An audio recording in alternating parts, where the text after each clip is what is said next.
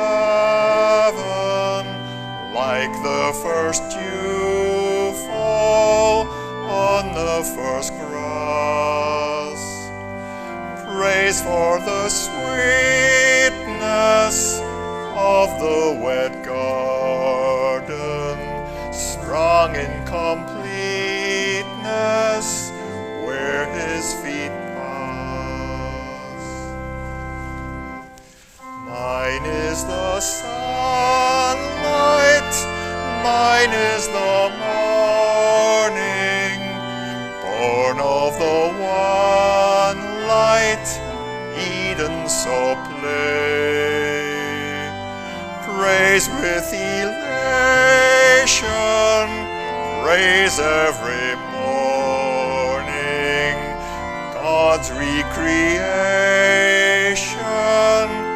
of the new day. The congregation may be seated. Let us come close to God. Let us pray together. Living God, we give you thanks for this special day. We ask that any stress in preparing may now be left aside. The pressure of rushing to be ready may be forgotten as we enter into your closer presence in this time of worship. We thank you for the gift of marriage and for the lasting joy it can bring to men and women. We thank you for creating humankind, male and female, that each can find fulfillment in the other. We want to thank you for all the ways in which love comes into our lives. Today, we think of Carmen and Michael as they prepare to begin their life together, thanking you for the joy they have already found in one another, for friendship deepening into love and love deepening with trust. We ask that they will sense you close to them as they take their vows to one another. We thank you for their homes, for the love and care shown by their parents. We pray that they may be as conscious of your presence as they are of ours. May they enter into marriage in your sight confident they have your blessing and trusting in you to support them in their life together. These prayers we bring in Jesus' name. Amen. And now we have a delight because Carmen and Michael have thought hard about this service, and we're going to ask Sandra and then Esther to come and read to us from Paul's letter to the church at Corinth.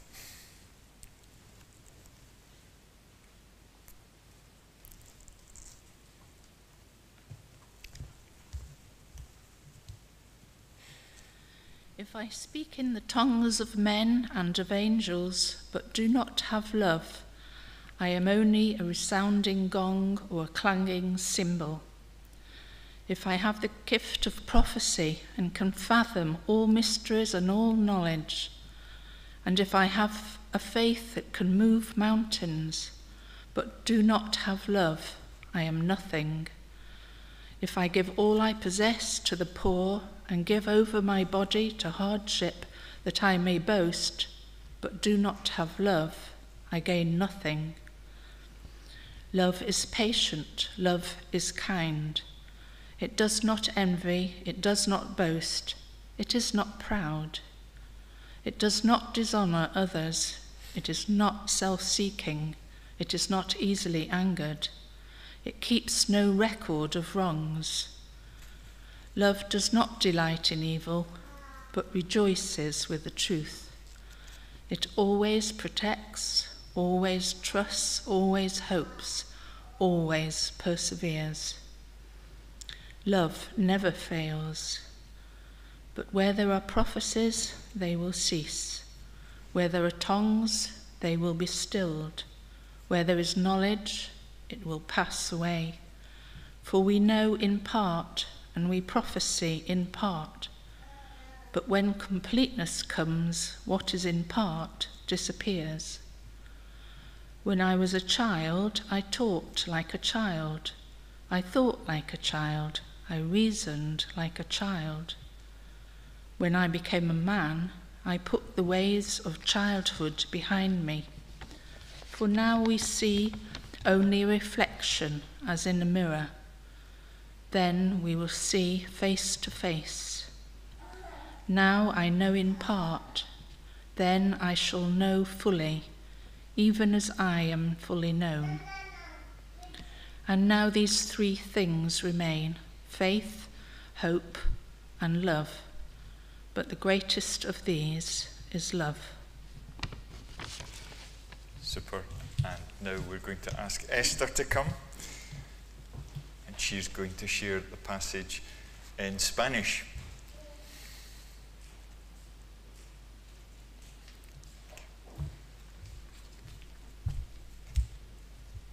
You can take your mask off to read. Okay.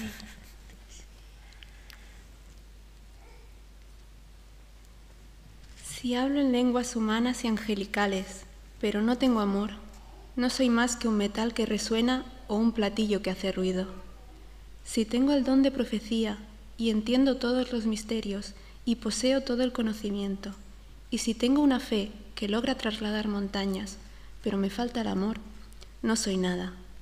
Si reparto entre los pobres todo lo que poseo, y si entrego mi cuerpo para que lo consuman las llamas, pero no tengo amor, nada gano con eso. El amor es paciente, es bondadoso. El amor no es envidioso, ni jactancioso, ni orgulloso. No se comporta con rudeza, no es egoísta, no se enoja fácilmente, no guarda rencor. El amor no se deleita en la maldad, sino que se regocija con la verdad. Todo se disculpa, todo lo cree, todo lo espera, todo lo soporta. El amor jamás se extingue, mientras que el don de la profecía cesará, el de las lenguas será silenciado y el del conocimiento desaparecerá, porque conocemos y profetizamos de manera imperfecta, pero cuando llegue lo perfecto, lo imperfecto desaparecerá. Cuando yo era niño, hablaba como niño, pensaba como niño, razonaba como niño. Cuando llegué a ser adulto, dejé atrás las cosas de niño. Ahora vemos de manera indirecta y velada, como en un espejo, pero entonces veremos cara a cara. Ahora conozco de manera imperfecta, pero entonces conoceré tal y como soy conocido. Ahora pues permanecen estas tres virtudes, la fe, la esperanza y el amor, pero la más excelente de ellas es el amor.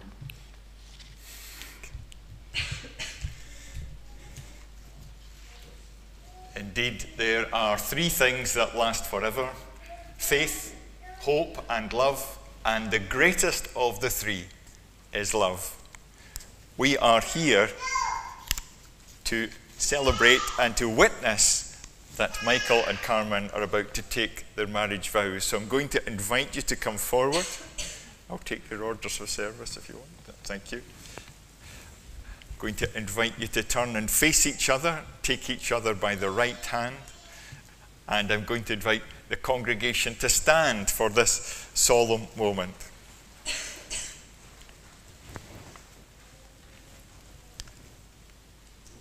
Michael, before God. Before God. And in the presence of our families and friends, and in the presence of our families and friends, I, Michael, declare my love for you, Carmen. I, Michael, declare my love for you, Carmen. I give myself to you. I give myself to you. As your husband. as your husband. I promise you my love, I promise you my love, my loyalty, loyalty, my trust, my trust, my friendship and support. My friendship and support. For as long as we both shall live. for as long as we both shall live. And now, Carmen. Before God. Before God, and in the presence of our families. In the presence of our families. And friends, and friends, I, Carmen, I, Carmen, declare my love for you, Michael. I give myself to you as your wife. I promise you my love, my loyalty, my trust, my friendship, and support for as long as we both shall live. for as long as we shall live. The rings, please. Thank you. And then Michael takes Carmen's ring and says this vow Carmen, I give you this ring Carmen, I give you this ring as a symbol as a symbol of all we have promised of all we have promised and all we shall share. and all we shall share. Let's see if the ring fits. yes. Excellent. if you take Michael's ring, and again uh, you say for the other hand. yes. Michael, I give you this ring Michael, I give you this ring as a symbol as a symbol of all we have promised all we promised, and all we shall share. all we shall share. And we put it on the fourth finger. We put our hands together.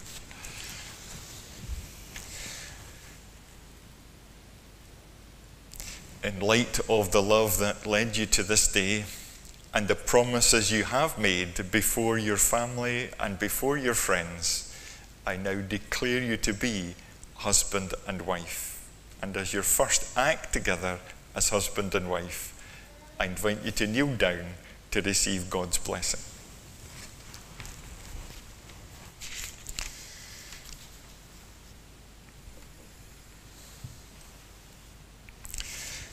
May the Lord bless you and keep you. May the Lord make his face to shine upon you and grant you everlasting peace. Amen.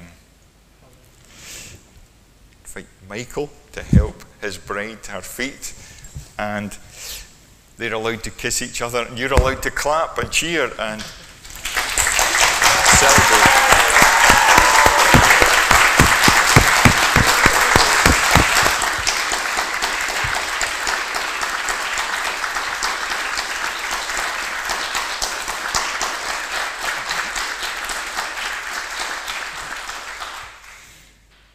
By these symbols, you have taken each other to have and to hold from this day forward, for better, for worse, for richer, for poorer, in sickness and in health, to love and to cherish for as long as you both shall live.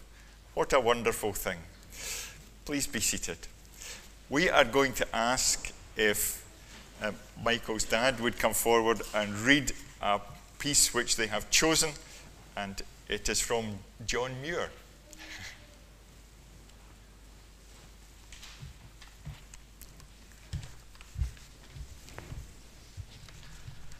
Michael and Carmen recently walked the John Muir Way. These words by John Muir really inspired them. Wonderful how completely everything in wild nature fits into us, as if truly part and parent of us. The sun shines not on us, but in us. The rivers flow not past, but through us, thrilling, tingling, vibrating every fibre and cell of the substance of our bodies, making them glide and sing. The trees wave and the flowers bloom in our bodies as well as our souls. And every bird song, wind song, and tremendous storm song of the rocks in the heart of the mountains is our song, our very own. and sings our love. Thank you. Thanks to readers. I ask you to come forward again, and because we've got people looking in, I'm going to ask you to face the congregation, and I'm going to ask you to give them a wave for those who are in Chile and those who are in Colombia. Could you please just give them a little wave? That would be really, that would be lovely. Excellent. the camera's up there. Believe me, you're on screen. You're okay. But the people here, if you have a look at them, so if the pair of you stand together and you just look at those faces, because from, as we've said, from around Europe, these are your supporters. You have chosen them, and some of them have gone to extraordinary effort to be here. So, a lovely, lovely thing. People have dressed up, they're prepared to come. They, I'm sure some of them have brought gifts. You're going to have a great time later um, having a celebration together, hospitality with your best friends and supporters. It's a lovely thing to see the love and encouragement and support in the eyes of others. And you really met through hospitality in a sense of working in a cafe. So it's a big part of your lives. And I'm sure the reception down the road will be fantastic. I know you've got some exciting things arranged which will surprise people and delight them. I want you to face each other for a moment, um, to look into each other's eyes again, because quite often when we meet somebody that we're really connected with, we spend a lot of time looking into each other's eyes, into each other's faces, and sharing our stories. And what comes out from those stories is that you're both unique individuals. You have different DNA, you're from different continents in a sense, you have different language backgrounds, you have different interests, and yet you have found something deep, something powerful, something that attracts you together, and something that you want to continue into the future. So I'm going to ask you to turn this way because, in a sense, you've got your supporters behind you you have chosen each other and you've found power and joy and love and hope in each other. But from this day, from this moment, as you walk off this chancel, you're now one. You're no longer me, you're now we, you're together, and you are going to establish the steps ahead for you as a couple. Nobody's ever taken this road before. That background, the genetics, the language, your particular combination has never happened before. So you are doing something new today, something very exciting. I'm going to share, because you're interested in language, you're interested, words from Louis de Bernières. And I think these help me to understand what you're doing today. Those that truly love have roots that grow roots that grow towards each other underground. When all the pretty blossom have fallen from their branches, they find that they are one tree and not two. And the hope for you is that, in a sense, your marriage brings together two people, two families, two continents, two language groups. It's a real example of what we would like the world to be like. So we would like to offer you a second round of applause and blessing and support. So let's show our appreciation.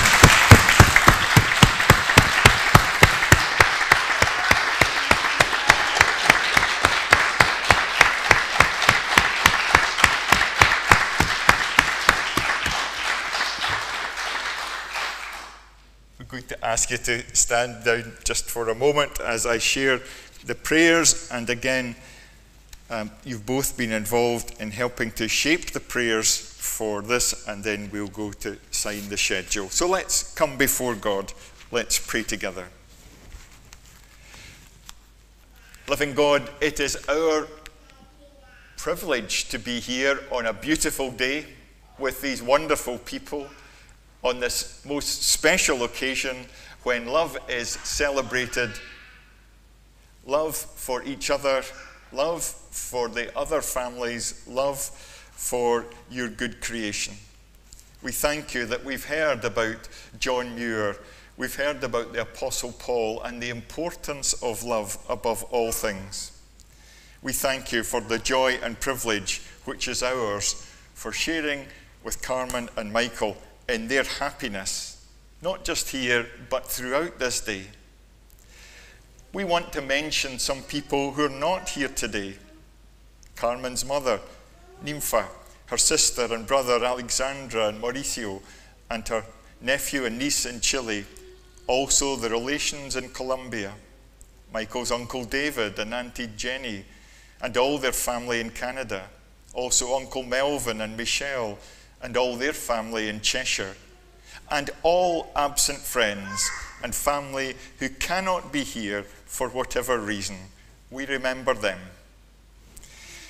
We ask that Michael and Carmen's house may be a place which is blessed, may be, be a home where Christ is known and loved, where perfect love casts out fear, where love is shown through hospitality to friend and stranger, where children are welcomed.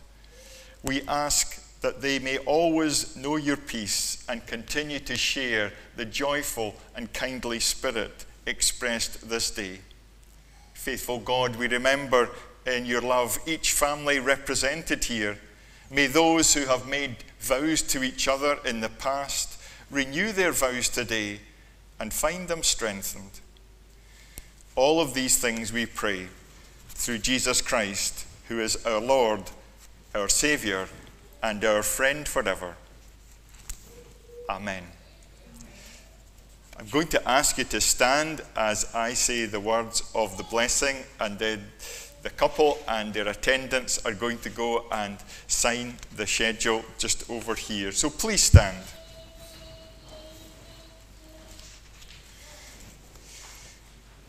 May the blessing of God Almighty, the Father, the Son, and the Holy Spirit bless us and all those we love from this day and forevermore. Amen.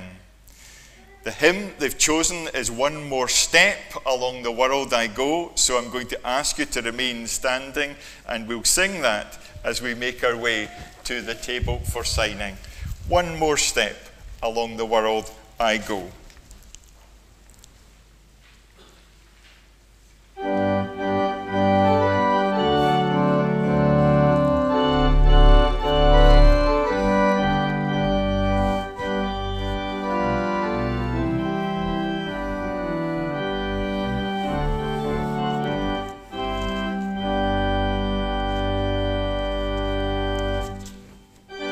more step along the world I go. One more step along the world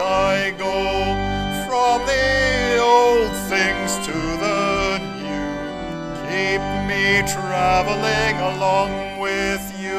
And it's from the old I travel to the new.